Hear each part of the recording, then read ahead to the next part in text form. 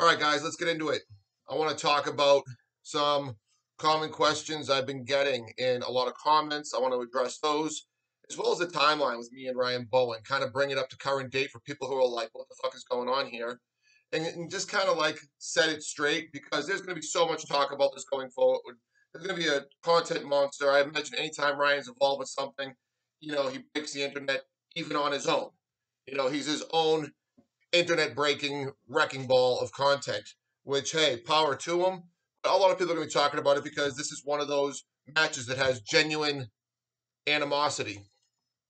But let's talk about that because Ryan made his video about signing the paper and said, uh, signing the contract and said, you're going to see, you know, you've been belittling me for two years or some shit like that. So I'm going to want to address that.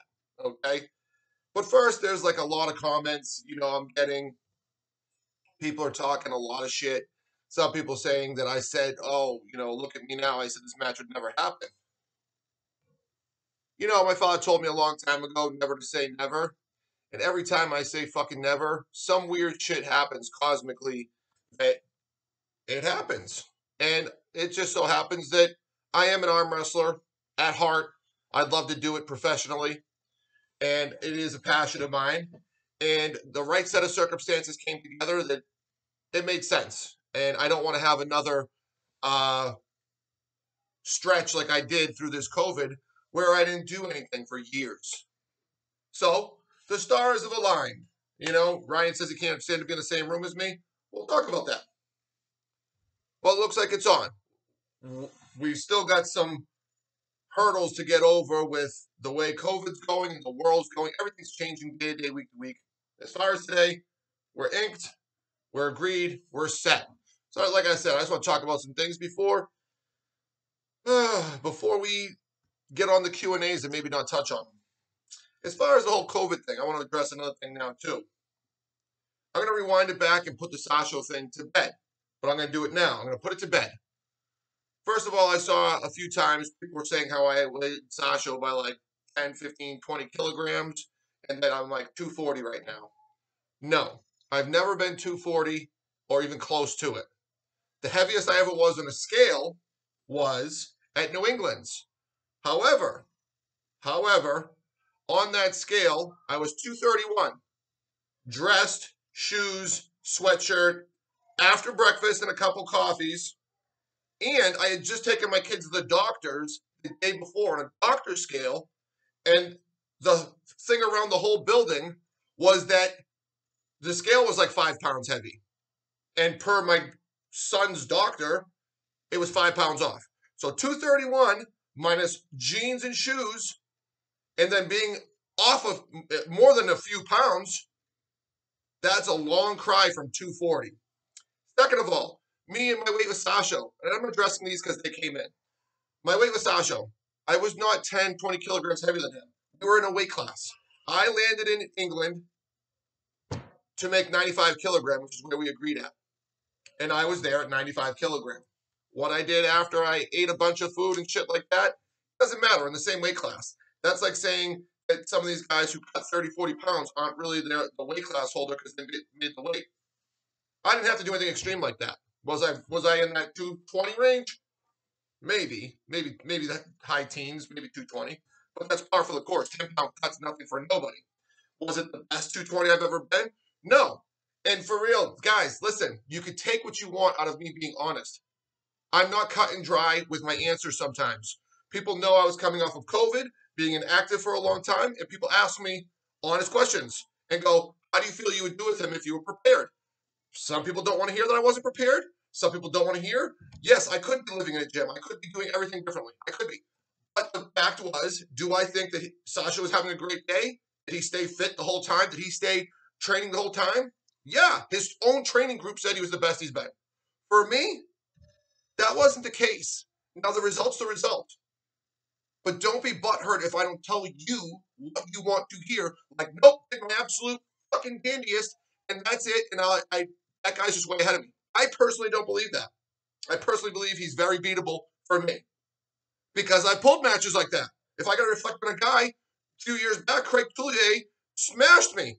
A little bit of rule problems, a little bit of setup problems, a little bit of me problems equaled getting smashed.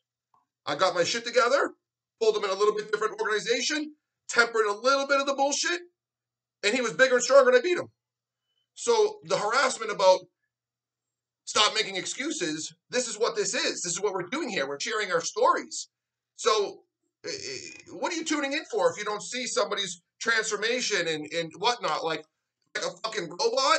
Uh, yes. Uh, just so I can seem humble to you guys, so I can seem humble? I am humble. The guy did a great job. He had a great day. He put in the work. He trained. There was plenty of room for me to grow from that point. He beat me. But stop trying to make it like I'm making some grand excuse because I can't handle the loss. It's not the first loss I've taken, and it won't be the first loss I avenge. But now on to Ryan. So, guys, never been 240. I wasn't 100 kilograms more than fucking Sasho. He's very catchable, and he will be caught. Different days, brother. Ryan. Ryan, Ryan, Ryan. Ryan says, we don't like each other. I have a hard time swallowing that. Because what the fuck did I do to you, Ryan, to make you not like me? All I did was call you on your bullshit. This, in a nutshell, is you were at the zoo. You decided to take a trip to the zoo. And you stopped by the gorilla pen to look at the gorilla. And then you started taunting the gorilla and fucking with the gorilla.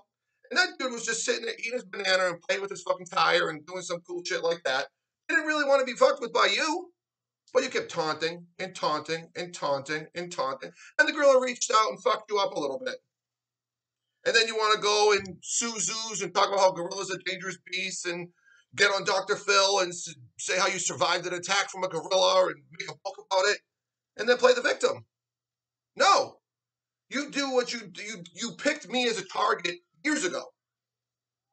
And it felt like you cut every accolade I had because all you try to do is pick it apart. Why is it? Why you can beat me? Why I'm weak? What my lanes are? And you never been in the same, say you sat down in the same room as me and you can get a feeling from them. I had no idea you were this cos, cosmic mystic. You never grabbed my hand. You never touched me.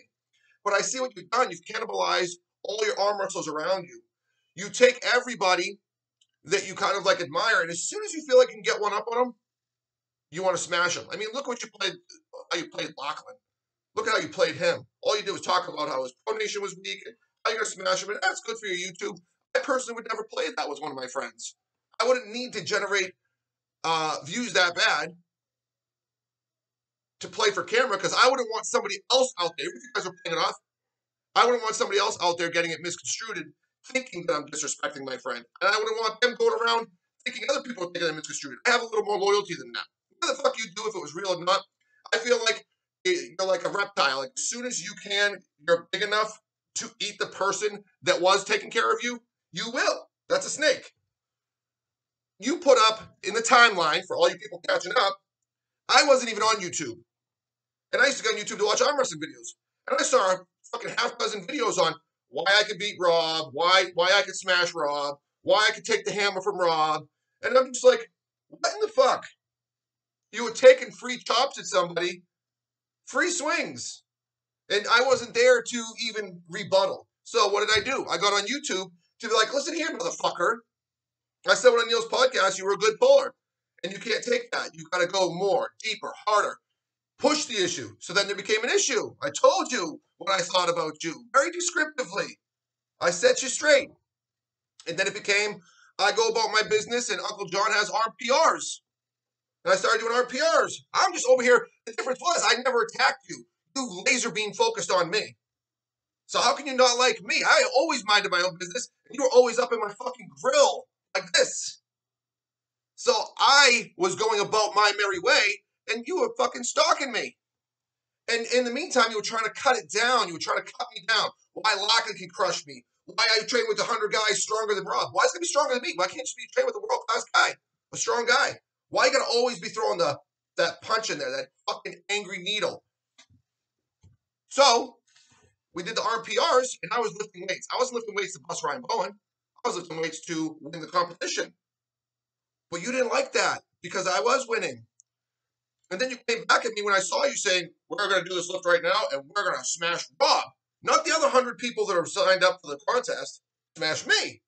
So now you're targeting me again. And then you come up with some wonky ass crazy shit that was terrible. So I got to be like, Bro, you call that a fucking lift? Like, look at what I did. Look what you did. It's ridiculous. You're, it's not even the same shit.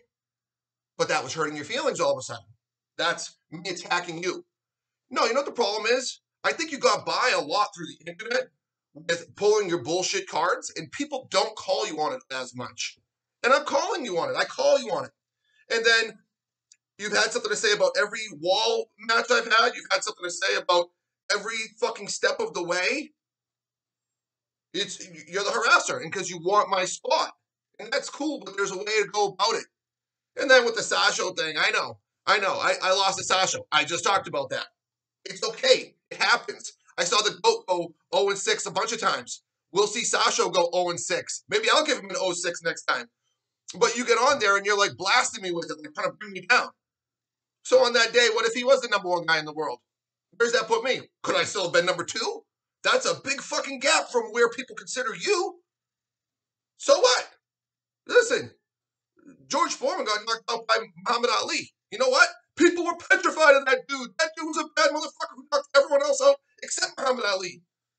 But you wanted to get on there and shit on me. So what did I do? I gave you a taste of your own medicine, and you called me fragile, and you called me fucking you're, you're banging on my pictures because I don't I don't I don't flex and look for the lighting in every picture.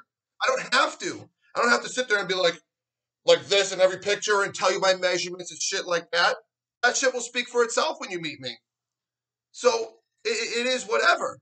But I'm sitting there shaking Sasho and you call me flat tire. So of course I jump on you. I'm like, who are you to fucking talk that shit? Who are you? Like you're just looking for something to pounce on. And then you would bite Sasho immediately. And it was almost like kind of like you were dying for something to dig at, which you were. You honed it on me because you don't like some of the realities I delivered to you. So what happened? You talked all that shit about Lachlan. The difference was, I said with Sasho, like, ooh, gonna give it the college try. I'm not up, but I'll, I'll try. And there was a lot thing more around that match than preparedness. It was just a new setup with an awkward guy. But you you just wanted to just fucking punch it home. Okay. I didn't talk shit about Sasho. You you sitting there, you made 30 videos about Lachlan, why you gonna smash him? And he's gonna quit arm wrestling. Wow, this is your friend. You wanna make him quit arm wrestling. He's gonna retire and go into the depressive state that only his mama can get him out of or something. Wow. What a fucking chap. So then you get smoked by that guy. And what I do? I only gave you a taste of your own medicine. And you cry. You cry. I'm terrible. You get in the same room as me. I'm fucking terrible. You're a joke guy. You're a fucking joke. You can't deal with what you've been dishing out. You can't even take a sliver of it. And you call people the snowflake army. And after that Lachlan match, you're putting this bullshit Tony Robbins video going, get up. Get up. Yeah, I was inspired, bro. I was inspired to fuck with my kids. But everything has been cause and effect. It's been response videos. Think about that. I don't sit there and go out there. Sometimes people talk to me if I'm doing a live and I'm like, who's that guy? I'm tired of the fucking Ryan Bowen bullshit because you've probably gotten a good portion of your views based on this bullshit you play. But see, I'm allowed to not like you because you've been the antagonist. You've been the one that's been on my ass and trying to chop some of my credentials and some of the things I've done and tried to find the lanes to bring me down. And you tried to step on my head through this platform right here. All I've done is had a real colorful way of putting you in your place via this platform. But it's like when fistfights happen, there's usually an antagonist. And there's one person that, you know, if they get a bloody lip, they want to go, oh, he punched me. It's like, yeah, motherfucker, tell how many times you pushed me and spit in my face. After a while, people can only take so much, Ryan.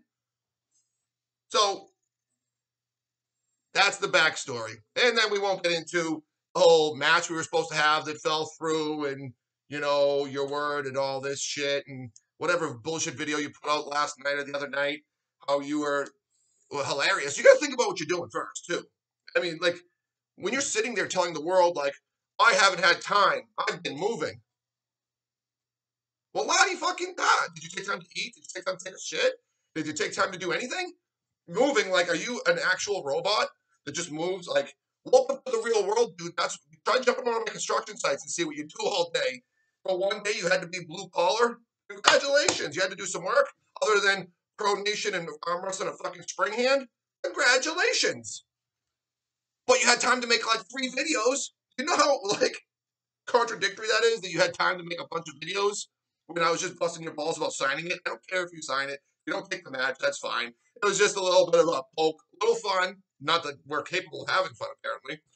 But you made like three videos saying, I don't have time to sign this. And I assure you, and then talk for 10 minutes. When the signing video you made was one minute long, you made like three 10 minute videos saying how you couldn't sign it and you weren't scared. While you were fucking sex panthering on your pillow like this and shit. That's why we don't see eye to eye. You contradict yourself and you really don't see things through reality. That's our backstory. We end up here because I can't see eye to eye with this motherfucker. And he's a crazy person. But don't cry victim that I've belittled you.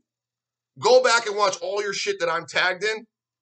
And if you can't see that, which I don't think you can, based on your series of videos and you know your fucking lunacy, if you can't see that, no help for you, brother. Cliff note. At the press conference, if you're trying to sell views, don't get pushy shovey with me. Like you did with Lockie and shit. Don't. You'll look like a fucking jack o' lantern. I promise.